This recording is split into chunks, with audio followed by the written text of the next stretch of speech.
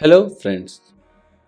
In this video, we will build a counter application using Hive. So Hive is a database which can store the data in the form of key and value. So you can see fast key value database which is written purely in Dart which means it, it can be used anywhere which uses Dart.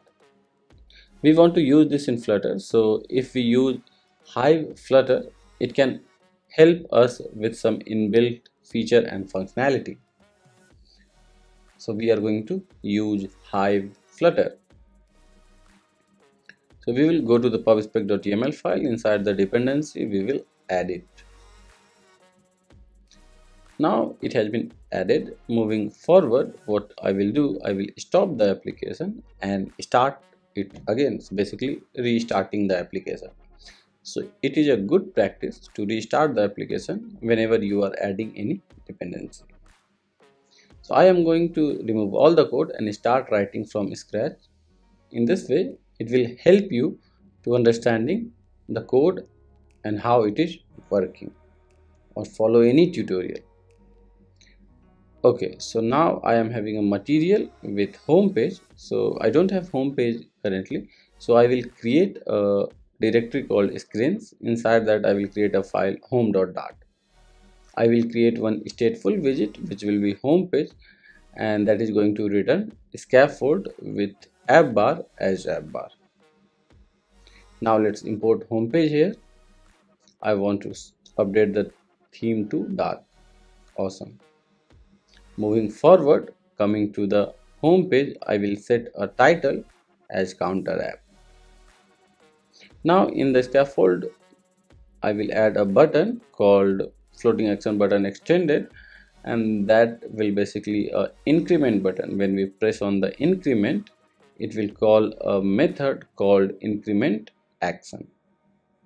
Now i will create one variable called counter which will have the value 0 so whenever this increment action will be called it will update the state using set state and update the value of counter by adding 1 to it now it's time to display that value which is counter so in the body we will show count and counter now i will add a center so the value can be displayed in center I will add a little bit style to the text so that the text can be easily readable. Currently the text is very small. So let's make it headline 3. Now if I press on the button it increment the number. If I restart the app it starts from the 0.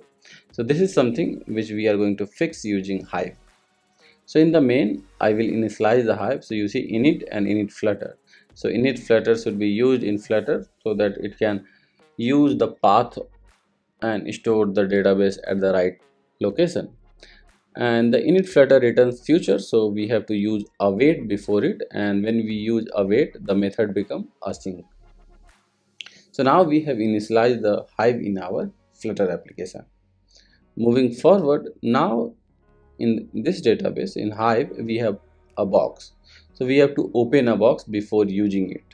So here i will open this box which is anything like you can name the box anything because we are just opening it. If this exists this will not create this box. If this box doesn't exist it will create this box again. So box is like a table or you can say collection if you know about database. If you don't know then also it's fine. You can learn uh, while following this tutorial. So open box also return future so we will add await before it. And we can tell the data type here in open box in the angle bracket so when you tell any data type now this open box or basically this tutorial box is bounded to use integer data as the value which means we cannot store any other value in this tutorial box. So the value will be always integer. Okay moving forward. Now what we want so whenever the app should start it should get the value from the database and initialize the counter application. So i will say hive dot box and using this i will get the box. So the box name is tutorial. So let's put it tutorial here.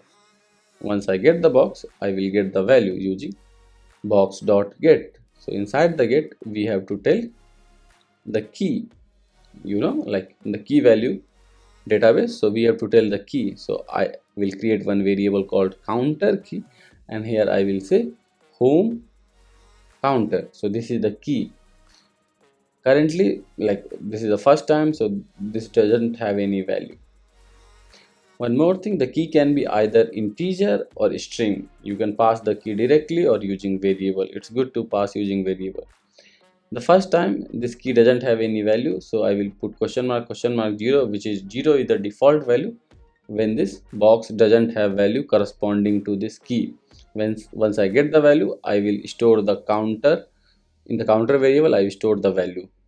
Okay so moving forward how the box will have this value? Because how do we store it? So when we click on the increment action we will have a box and inside the box we will put the value. So we have to say key. So inside this key we will store the counter value. So now that's it. So if i restart the application it is 3 and if i restart again it is still 3 because i am storing. And when the app restart if i restart the app in the init state i am getting the value. Here in the getting the value and storing to the counter variable. So let's print something. Counter value init with value. So you see it says 7 counter value init with 7 if i increment and restart the counter value init with 13 which means the value is getting fetched from hive so if you face any problem in understanding let me know. If i can help you i will love to help you. Thank you